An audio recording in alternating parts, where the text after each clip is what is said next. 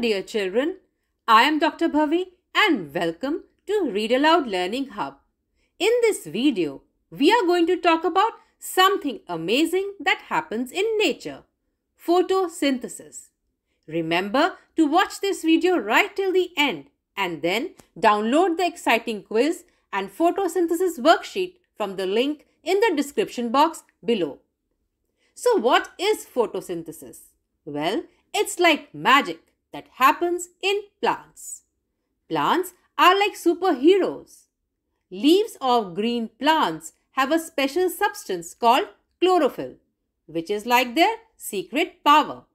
They use this powerful chlorophyll to turn sunlight, water, and carbon dioxide into something super important oxygen and food for themselves.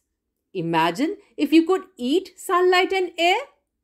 That's what plants do, and they make it look easy. When they soak up sunlight, they also take in carbon dioxide from the air and drink up water through their roots. Then they mix it all together in their green leaves. The magic starts when the sunlight tickles the chlorophyll. It's like a big party in the leaves. The chlorophyll uses the sunlight's energy to cook up a special recipe. It takes the carbon dioxide and water and turns it into sugar, which is the plant's food. And guess what?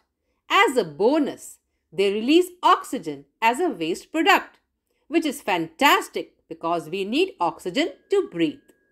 So, next time you see a tree or a pretty flower, remember they are like nature's chefs, cooking up their own food and giving us the oxygen we need to live. It's a pretty cool process, isn't it? Keep exploring and learning about the amazing world of nature, my little scientists. Subscribe for more fun videos and give a thumbs up so that I know that this video was helpful to you.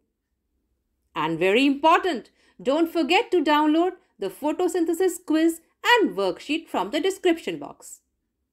It's bye for now and see you next time.